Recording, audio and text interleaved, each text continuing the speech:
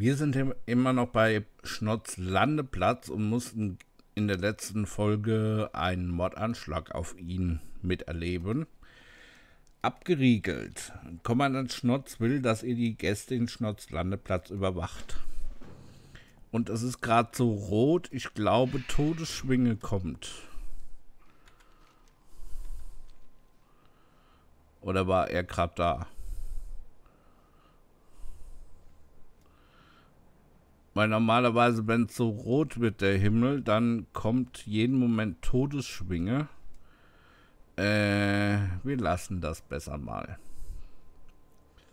Gut, hier drüben gibt es auch noch eine Quest.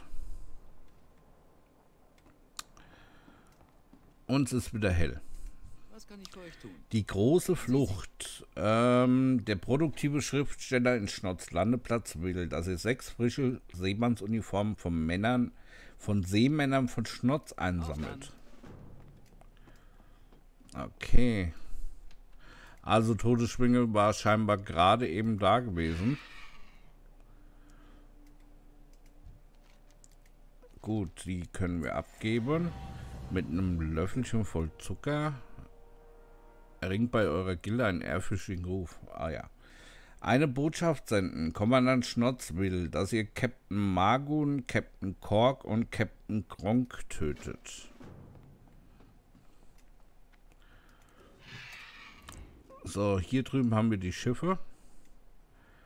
Äh, der Kapitän steht natürlich immer oben.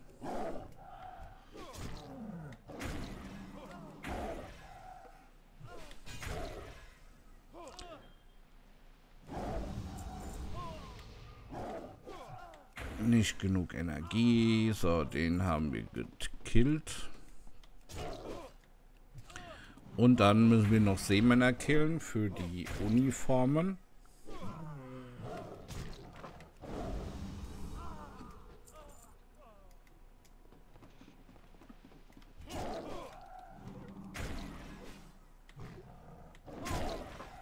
Also normalerweise müsste es von den Personen oder Seemännern, die auf dem Deck stehen, reichen.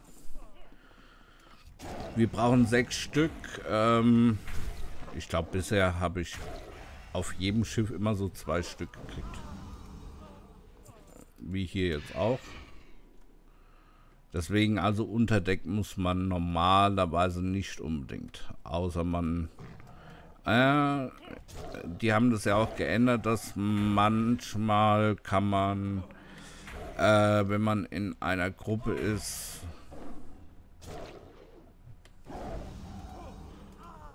Dass man mehrere von, also dass jeder zum Beispiel oder mehrere einer Gruppe äh, Loot bekommen.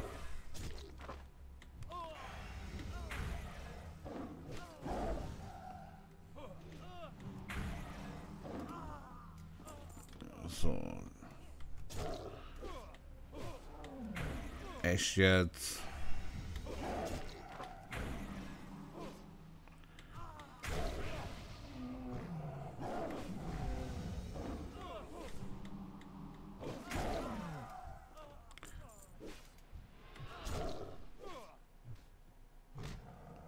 Tempowertung erhöht. Tem Tem Habe ich zwei Schmuckstücke mit Tempowertung?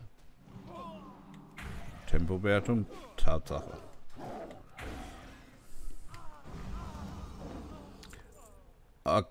Okay.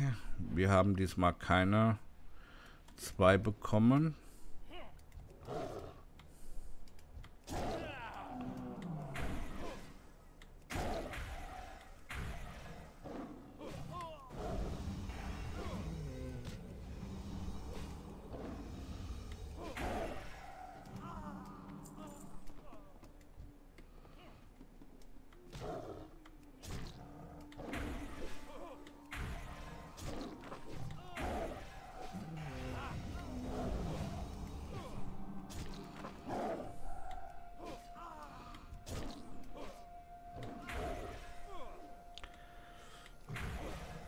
Also wir sind ganz schön im Leben runtergefallen. Das hatten wir lang nicht.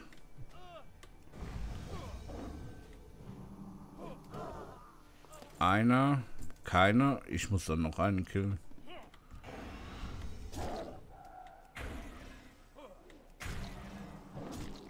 Das macht mich traurig. Ich muss sogar noch zwei killen.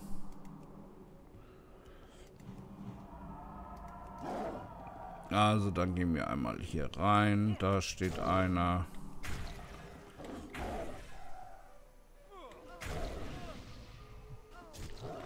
Wie gesagt, das hatte ich noch nie. Dass ich hier mehr als die auf dem Deck killen muss.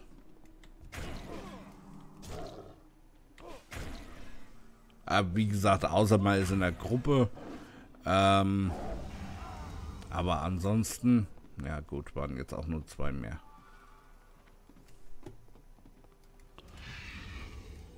So, dann können wir die Quest abgehen oder die Quests sind ja zwei Stück abgeben. Wie geht's? Man sieht sich. Mögen Und ein sehr schöner Stab. Lederfüße, die sind besser als die wir haben. Was haben wir denn hier für eine Waffe? 312er. Und wir haben hier halt noch eine sehr gute Schildhand. Dann nehmen wir die Füße, die wir dann auch anziehen werden. So, die haben sich jetzt alle verkleidet. Und jetzt hauen sie ab. Darf ich mit euch? Ich will mit euch.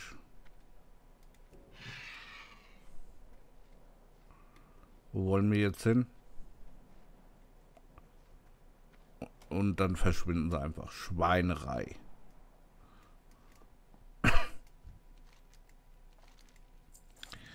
Erschießungskommando. Sprecht mit Kommandant Schnotz. Ich glaube, ich bin bereit. Ist jetzt aber nicht ab... Nee.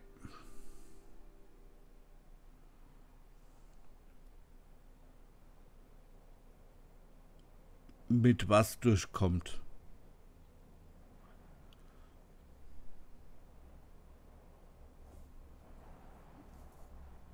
Ich habe doch gar nichts gemacht.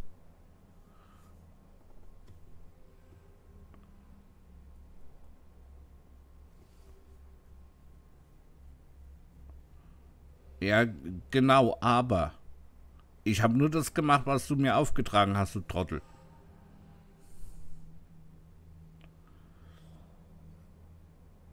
Ich habe mit dem Mordanschlag nichts zu tun.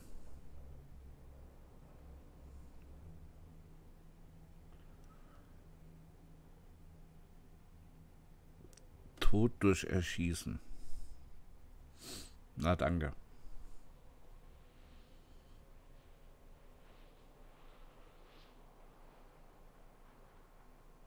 Wir sind immer hilfsbereit und dann sowas.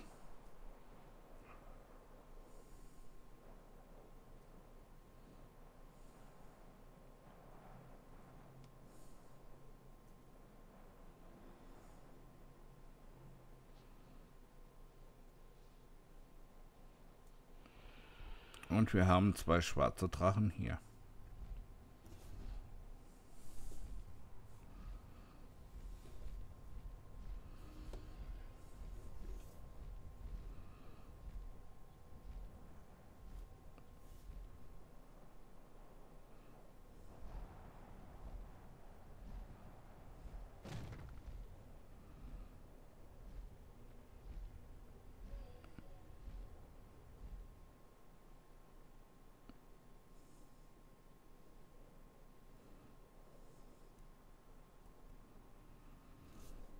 Tja, wir wurden von Indiana Jones, äh, Harrison Jones gerettet. Okay, ähm, was gibt es hier? Schmuckstück. Oh, oh. Intelligenz. was habe ich denn hier für Schmuckstücke? Hier. Tempowertung. Hm. Ich nehme das hier und tausche gegen das Opera aus. Auf dann. Trefft mich in Virsa. Sprecht mit Harrison Jones in der Oase von Virsa. Seid vorsichtig. Äh. Nee, das war, glaube ich. Ist das das Falsche? Nee, war es Richtige. Gut, die Oase von Virsa. Dafür müssen wir einmal komplett nach oben in Uldum. Und zwar dahin. Ja, keine, also ich denke, dass Harrison Jones das Ganze manipuliert hat, ähm, weil er war ja dann da, um uns zu retten, weil wir haben einfach nur Aufträge gemacht. Mit den Götzen schon, er braucht neun, gut, äh, da ist er selbst dran schuld, wenn er zu uns sagt, acht. Er braucht aber neun. Äh, mit der Bombe hatten wir gar nichts zu tun. Und ansonsten haben wir ja nur die Aufträge, die er uns gegeben hat, gemacht. Deswegen keine Ahnung, was der da für Probleme mit uns hatte. Und wir waren so nett. Wir waren so nett gewesen. So, wir haben die Oase Birsa schon entdeckt.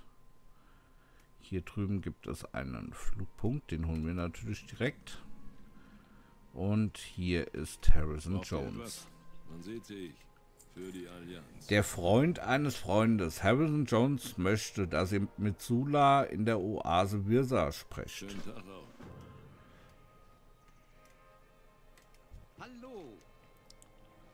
So, beenden. Zwei Zelte. Begleitet Sula zu Sulas fahrendem Zirkus. Okay, wir machen jetzt eine kleine äh, Reise. Sula ähm, ist in den Indiana Jones Filmen äh, Sala und wird von John Rice Jones, heißt er, glaube ich, gespielt. Ähm, Moment, ich gucke. John Rice Jones. Google. Ne, Wikipedia. Wikipedia. Ihr könnt ja in der Zwischenzeit hier mal lesen. Indiana Jones. Äh. Indiana Jones, Tempel des Todes, Jäger des verlorenen Schatzes. Salah, John Rice Davis heißt er. Nicht John Rice Jones. Äh, John Rice Davis und John Rice Davis hat auch Gimli in den Herr der Ringe Filmen gespielt.